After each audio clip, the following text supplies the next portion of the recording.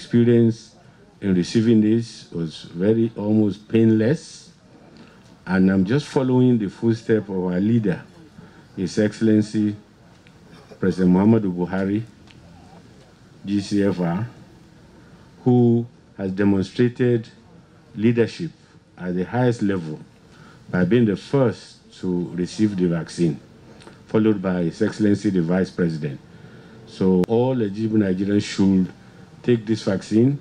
It is safe um, and it is painless, and the benefit is immense because it's not just for the individual, but the more Nigerians that are vaccinated, the more we develop the herd immunity, which will keep our country safe and our people healthy.